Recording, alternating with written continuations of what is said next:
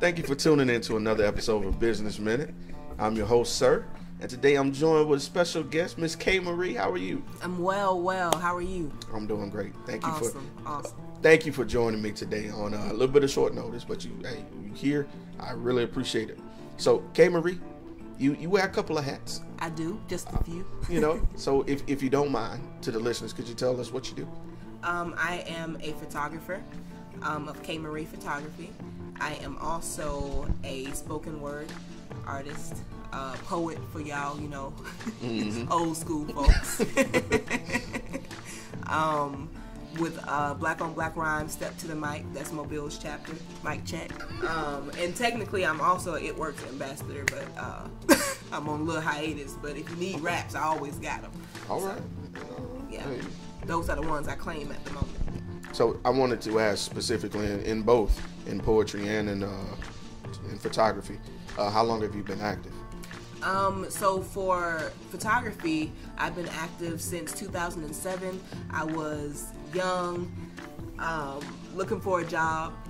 I happened to come across like Indeed, I want to say, Uh-huh. and uh, Sears Portrait was hiring. So I was like, I need to, I need to try this. You know, I know, I know, I'm not certified in this, but let me just try. And when I went in, uh, you're supposed to be able to shoot five stars, and I was shooting four. So the manager was like, look you you need to stay here. This is what you're meant to do. So ever since that point, you know, I knew it was already in me. Um, I stayed there for about four years. Uh, they certified me or whatever and taught me what I needed to know, but they had so many rules, and I felt like I was so boxed in. There was no room for advancement or promotion, and I felt like I was giving so much of me to them that I can be giving that much of me to me. So that's when I went ahead and invested in myself and got my first camera. I don't even want to think about how those sessions looked, but now I'm a much a much better person. So that's good. Um, for poetry, I've been writing all my life. I wrote like my first little nursery rhyme in first grade, uh, Oh. a short story in um, fourth grade. My teacher published it in a little paper or whatever.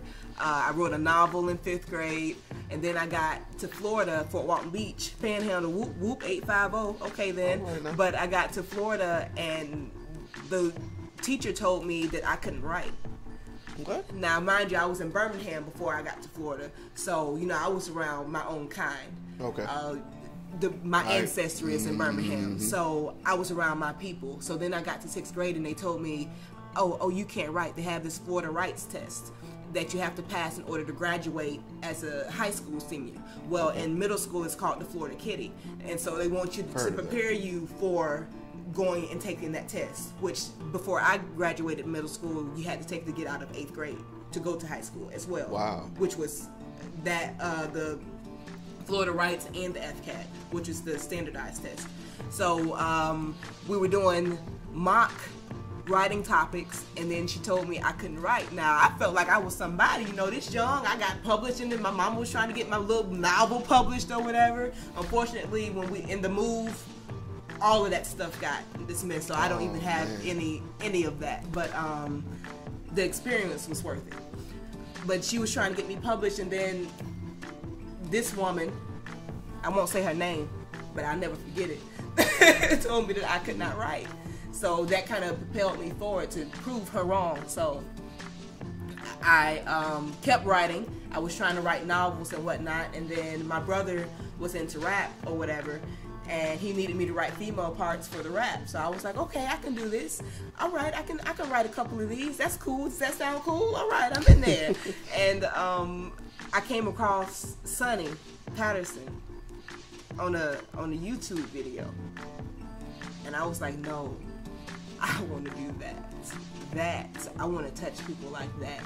And by eighth grade, I was writing poems, but I didn't feel like they were spoken word poems. I was writing poetry, you know, like uh, scenery type stuff. The, the wind blows, the trees are in the wind when it blows, you know, that type of nursery rhyme type type of stuff. Um, and then I got to high school and I saw a couple of more people like um, uh, Be Strong and uh, Be Young and um, Mo West and, and people like those. I started seeing, you know, development developed poetry that was touching people and shaking people. And when I like came into contact with Team Snow, the original Team Snow, um, I, I just knew that that's what I wanted to do. That's how I wanted to touch people. I want to spit like that. That's that's what I want. And once I tried it on, it fit so well that I didn't want to take it off.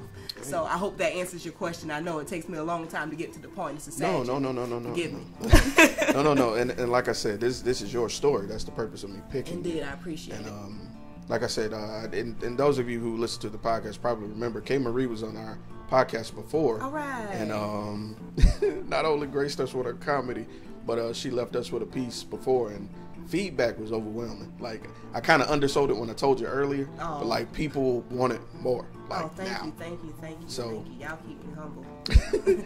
Y'all make me. I understand Yeah. that that right there Yeah. because this Yeah.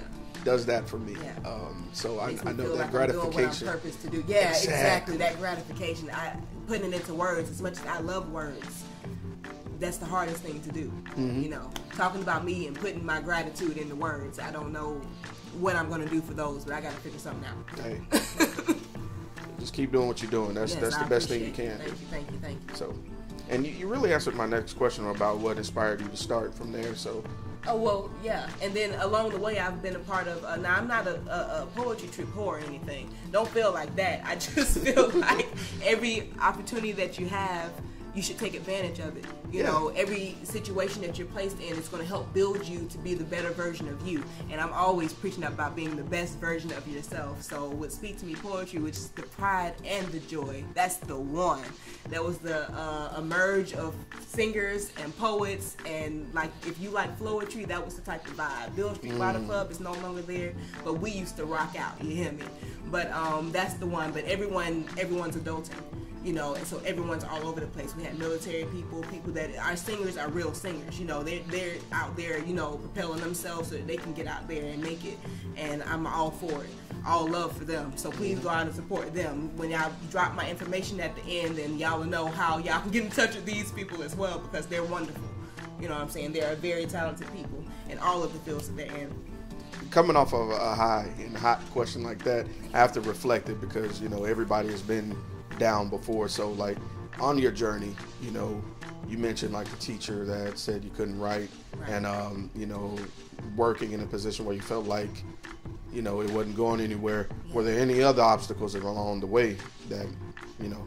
you're gonna have obstacles all the time. When Mm-hmm. you write a poem and you get up there and somebody is like laughing or gets up and walks out or is looking at their phone.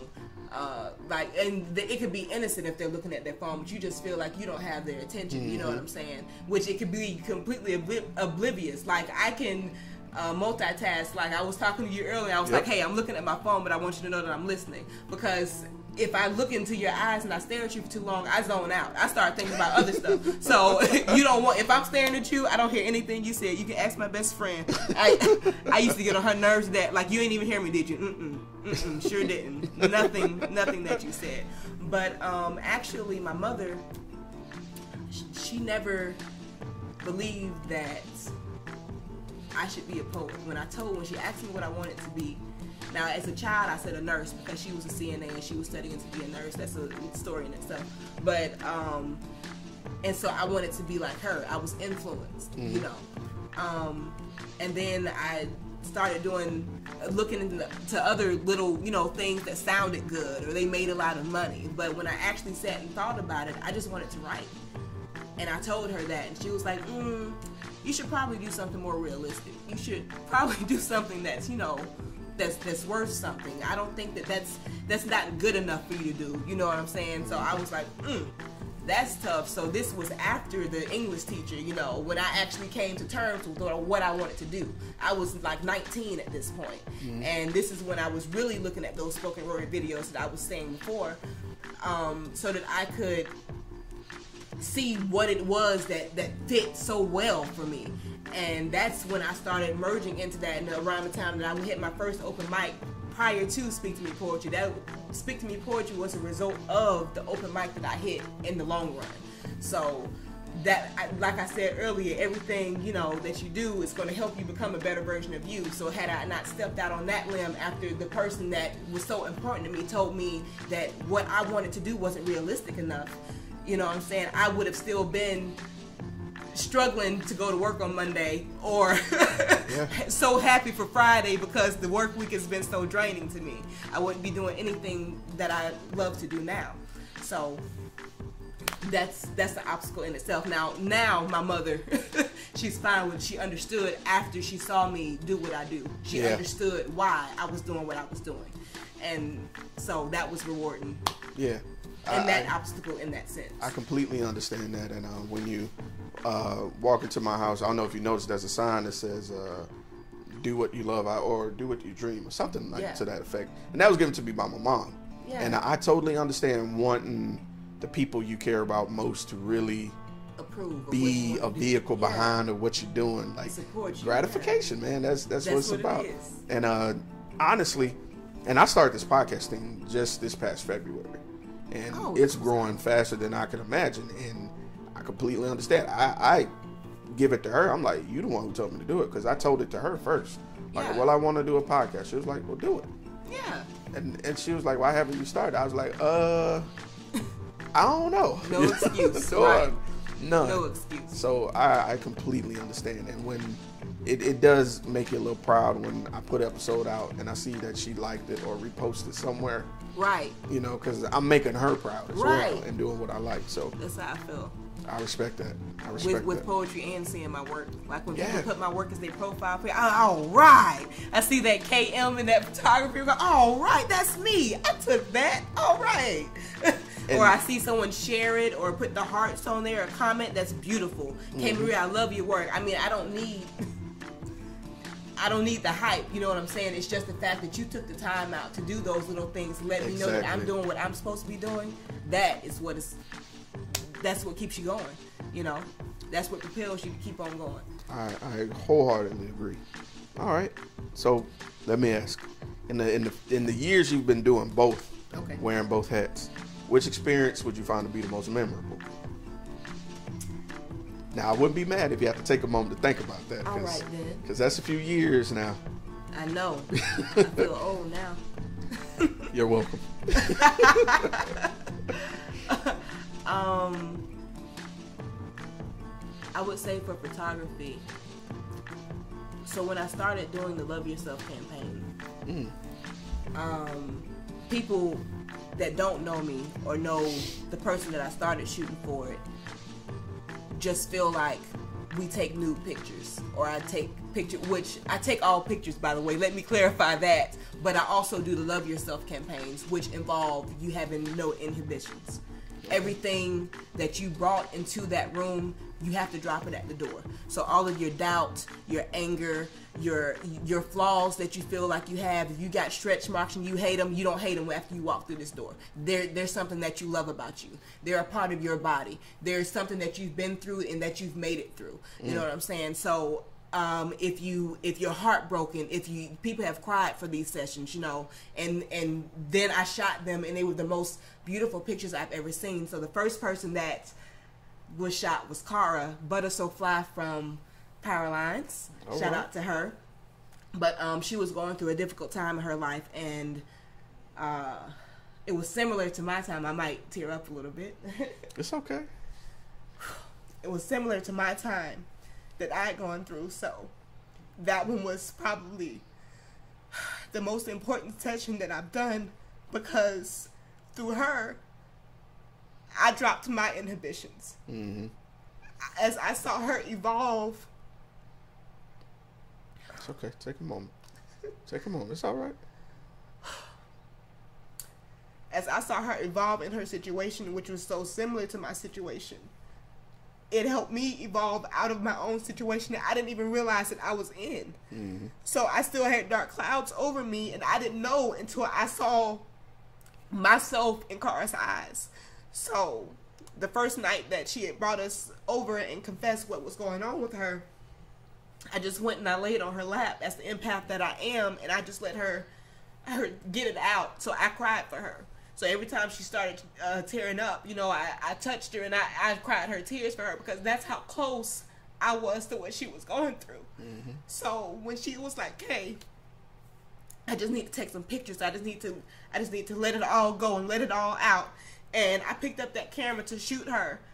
She is literally butter so fly because she was some cocooned and boxed up little caterpillar. But after that session, and she saw herself how we see her, that mm-hmm. changed her whole outlook. And mm. Cara has been, excuse my language, a ever since then. and I would shoot her all day, every day. So every time, every session is a new milestone in her life. So when you see them, don't think that it's it's trying to be risque or trying to put her out there. It's just letting you know, hey, I just I just dropped something at the door and I just overcame something. Look at me.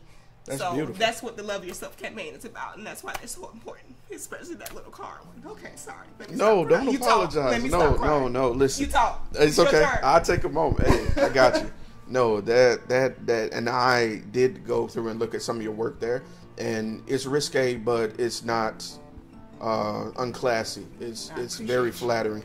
It's it's an art to how you do it, you know. And I I I I, I there's definitely a line between pornography right. and what you're doing. You, Thank what you, you're doing is art. I've seen it, and uh, once we get done, I challenge each one of you who feel that I may be underselling it or may not know the difference to go on her page and look at what we're talking about. It's some fine, and it takes courage to do that. To look at yourself uh, objectively. Right. And to love yourself and love the reflection that you give. And leave all of your doubt at the door. That's powerful. That takes a lot of faith and a lot of strength to do. So I commend you on that because thank you, thank you. that's something all of us have Right. or have had. Right. And some to some degree more than others. And that goes into a topic I've been doing before on mental health. You have to love Yeah. yourself Right. First. unconditionally. first. Exactly. And that's important. Taking that step to see yourself and love who you are is important. So you providing that to someone is you can't even put a price on that. Right. I don't. well, those love yourself. If it's for the campaign, I don't. See? See? And uh, we Now I didn't do even plan. boudoir shoots, but every shoot is not a love yourself session. Exactly. Is what I'm saying. Exactly. But right. those sessions I don't charge for Yeah, and because they're they're more than what I can't emotional put a price on value. That. Yes. Exactly. Exactly. How do I put a price on giving you your life back? Yeah. Or changing Or- your or- life, or giving you- propelling you forward, like letting you see yourself cocoon. in a exactly in a whole different light. Like Unless you go about your life like you intended. You know, I was listening to someone else on a podcast. Yeah. And I guess the the the, the catchphrase right now because of the popular song is living my best life. Right. And people are singing it but not really getting what he's saying. I'm not worried about anything else. I'm doing me. To to have the courage to do you, right, regardless. that's the key word, regardless. It's very tough to do nowadays. Because we're in an age of looking like everybody else, doing what everybody Yeah. else do. And and exactly, fads social media and- yeah. it's it's it's it's very I feel like it's more powerful now than it was a few years back. You know, now that the power of social media connects everybody to stand out amidst all the hatred and, Yeah. and the naysayers and the trolls and stuff and say, This is me, I love me. Right. I have a poem that I'm working on that um, basically starts out saying, "I used to try to sound like other people," and uh, I'm that's all I'm gonna say because I like like I said I'm working on it. But I'll drop the next show date and maybe maybe it'll be complete and y'all can come hear the poem.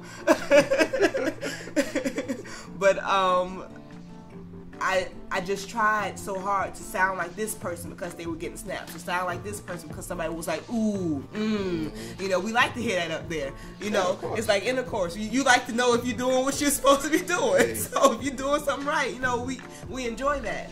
But um, I found that there was a definite difference in it sounding like somebody else and actually doing what you're meant to do because if you they were meant to be 5,000 uh, Mo West or 10,000 K Marie's, then that's what he would have created. There's a reason why he created each artist the way that he created them. We need a smorgasbord. We don't need a whole bunch of the same people, right? Sure. So that's my little tidbit. I try to drop gems if I got them.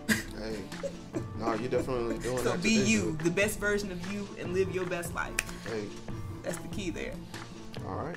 Now shifting gears to more of a and, and when I asked you to do this, I said uh, adulting topic, and I, what I meant by that was time.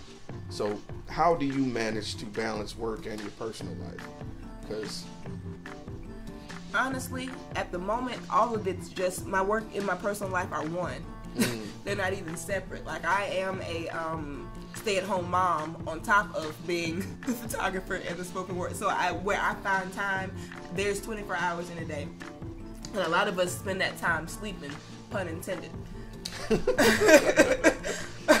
Stay woke, but. But you just gotta find time. Like sometimes I'm up when uh, my fella is asleep, and when Sweet Pea is asleep, I'm up and I'm still editing pictures, or I'm up and I'm writing poems. So I have to set this day aside. Okay, I'm leaving the house for five hours, and I'm going to finish this poem. Mm-hmm. I'm going to do this, and I'm going to finish this session. Like, and so it's it's constantly a rotation, and I have to put the puzzle pieces where they fit on that day.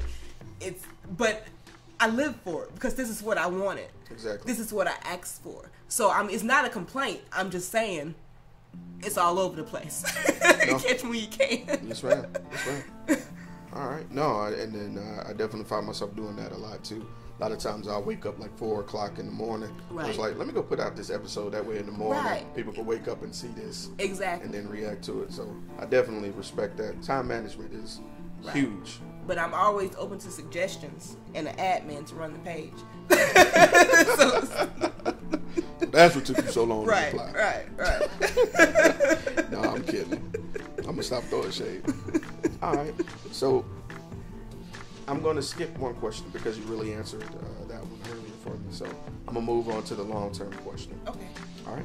So where do you or where would you like to see yourself in one year, three years, and in ten years?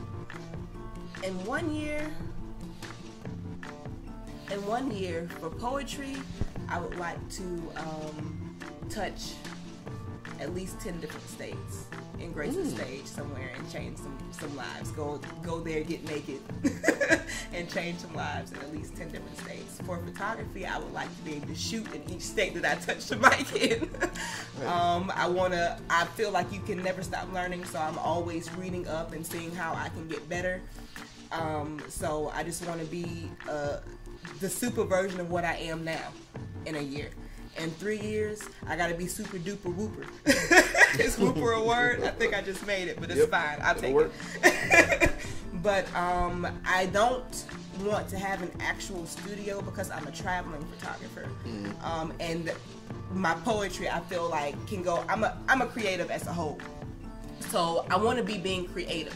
So I also can make jewelry. I also can make uh, body butters and scrubs. And I know, don't look at me like that, man. There was a point in time where I made candles. Like I just, wow. I don't have time at the moment. But in three years, I want to have time for all of that. I want to have time to use every creative outlet that I have. And then in 10 years, I want to have mastered them all. And I want to bring people wherever I go. I want to bring somebody up with me. Like I met a young lady at uh, Minding My Black Business, which, which was at Architecture. Um, if you've seen my hair, you know that it was it was to my bra strap, and I cut my hair and I colored it. Um, but the person that did that is the owner of Architecture. Her name is Tasha. Hit her up. But um, at the Minding My Black Business with Tasha at Architecture, I met um, quite a few. It was only for women and it was only for black women. So I met quite a few people that are also in the business of bringing people up with them. I met a young lady that's a photographer aspiring and she wants she saw my work and she's like, "No, I want to work with UK." And that was not mm. only humbling, but it's what I'm I'm put here to do. Like, why would you there's enough room for all of us. So why would you make it to the top and not take anybody to the top with you? True so that you what happens to your legacy after you've made it and not mm. only will my daughter get it but i want to instill it and there's too many of us for us not to be instilling things in each other Ooh. so with like that young lady, I can't wait to work with. There's a young man that he's been a second shooter on my weddings. I, I can't wait to work with him again. He's 18 years old. His sister is 16. She's a makeup artist. She's doing hair. She's uh, doing music. Like they're these you got to invest in our youth because this yeah. is the generations that's going to run the world. So I always feel like bringing people with you, that's the way to go. And so wherever I can do it, in me being a creative, however I can do it, I'm there. So in 10 years, that's why I want to be mastering it and helping somebody else master it as well. You better bring them along. All right, all right. Investing in youth, that's, investing in the youth, excuse me, Yes. is probably the best investment you can make ever. Ever. If you want to leave your mark, like you said. Right. Because your legacy lives forever after you, especially Right. when you pass it on, because they'll do the same because someone did it for you. Exactly. passes it Exactly. You got to plant the seed in them so that Mhm. we, we have beautiful growth. There you go. know. Trees everywhere. Right. All right. So that brings me to my last question of the interview, and uh, it's probably my most impactful and therefore my favorite. And I always dedicate it to everybody that's listening to the interview. So, what words would you have for someone who's just starting out on their own? And you know, before you take that leap of leap of faith, you're always nervous. You know, you don't know if you should do it or not. Before they go all in for themselves, what words of encouragement would you have for them? If you don't believe in you, how can somebody else believe in you? When you said earlier, um, you gotta love yourself first. I firmly believe that because if you love yourself, you're to that you're not going to conform. You're going to do exactly what it is that you want to do. You have to put you first sometimes. And when you put you first and you feel that nervousness, then you trust you enough to know that you can't give up and you can't quit because you got it because you know you, right? Right. Because if you love you, then you know you you. have to know you to love you. That's true. So that's that's the best gift that you can give to yourself. It's loving you so that you know that you're gonna make it. There was a whole bunch of yous, but it's real. Hey, You I- know? I- hey, you said that. yeah. you wow. You flattered me. But um, never give up. There's always a way. Obstacles are are they they show you the obstacle courses, right? And they show you that even though you have to climb this wall, it's possible. And even though you have to uh, crawl under this, it's possible. Sometimes you don't have to crawl. Sometimes you can go around the outside, and you can jump over. You can hopscotch over it. Uh, sometimes with the wall, you, there's a little hole underneath. You can crawl under. You don't even have to go all that high. There's another way. So always find the way around the obstacle to get to where you're going. Truth. So that's another little, you know, I got I got little diamonds when I need them. Yeah, y'all can't see she me cross my leg. I she feel did. like she y'all totally could. did. She did. But hopefully that helps somebody, and hopefully that pushes somebody forward. A no, this is not a one closed door, another one's gonna open. I know y'all hear that all the time, but no, really, It's true. when one door closes, another one's gonna open. That just means it's not your way. Yep. You have to find another way. So right. believing in you, loving you, that's gonna get you there. Okay, Marie. That's hey. Every time you, you, you touch the mic, man, you're blessing another person. All so right. whether you realize it or not. So Now. now, like I said before, everybody wanted to know how they could see you, hear you more. Um, what's a great way they can get in contact with you? Okay, so on Facebook, it is Christina with a K, K Marie, K M A R I E, one word, no space, no hyphen, no period. Um, Marie is my last name. That, that I got a poem about that too. I dropped my last name, so my name is actually Christina Marie. Um, uh, my photography page on Facebook is www.facebook.com backslash K Marie Photography Fan. The fan is important, F A N. Otherwise, you're going to go to Kristen Marie, and it's not me. So um, on Instagram, I am K Marie Poetess. Of course, as usual, K M A R I E, no space, no hyphen. You don't even got to capitalize it. It's still, it's still to come to me. Um, I'm not gonna put my phone number on on the web, but Nah, nah. y'all can reach me any of those other places. Do you need my email? Poetkmarie at gmail.com. Hey, Uh, sounds good. Oh, and like the Black on Black Rhyme Step to the Mic Mic Check page, Black on Black Rhyme Mobile. And you can see the future shows. For instance, we have a show on November the 10th. The doors open at 7:30. It is a $10 cover, $7 for students. It is at Architecture. The it's the C in architecture is the X play on words. Isn't she clever? But uh, it is on Azalea and Government. If you if y'all remember when Huggy Bear used to host the Purple Cafe, y'all remember get your mind right on Thursday nights. Well, it is on the side that faces Azalea. That place is no longer there. It's called Rice now, but y'all y'all should know where it is. All right. Hey, and if you have any questions, I'm sure if she, if you email her, go on her page, I'm sure, or you know she'll be able to get in touch with you. Make sure you get there. Uh, I will be there as well. Yeah. Full effect. Yeah, I'm, I'm in there. All right, So- swimwear. Yeah. So, um, yeah, definitely come out and support uh, K Marie. Thank you again for joining us. I really appreciate you doing this interview for me. Thank I've been wanting to get this for one for a while. Yes. Um, it's always a pleasure. Thank and you, um, thank you. yeah, that's it. We're gonna cut it.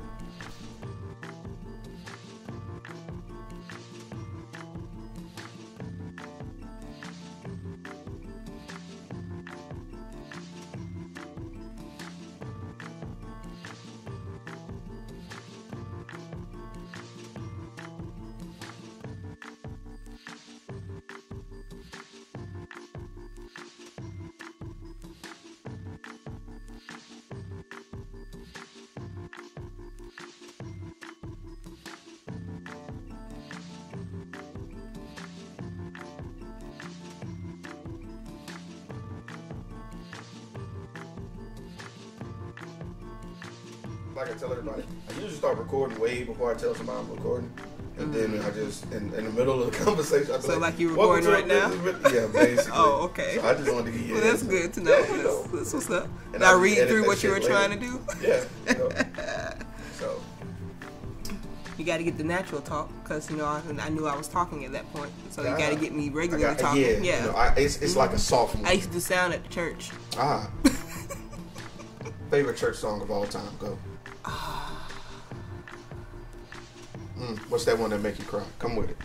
That make me cry. The It just depends on what I'm going through at the time. Ooh. You know what I'm Financial saying? struggle. Go. Um, I don't know. I like that. Uh, I thirst for you. mm, okay. You know the song. That's the Yeah, one. yeah, That's that the one. one. When you down, when you up, Mhm. when you That's- sad. That, that's the one. I would have to say that one. For me, That dude, one. no matter what, um, Order My Steps is going to get me every single time. Yeah, but I only want it if if it's sung. Yeah, yeah, I need that. Um, like I, I can only listen to it sometimes because I know I get emotional with it. Because every single time I could be Yeah. playing basketball or something, and I hear Order My Steps. I'm like, Oh, I'm like, order oh. Lord, thank you, Jesus. Let's just take a knee in the name of Jesus. Time out. Our Mm-hmm. Father which art in heaven. yes. Man, Come with us now. Yes. you be there. the throne of glory.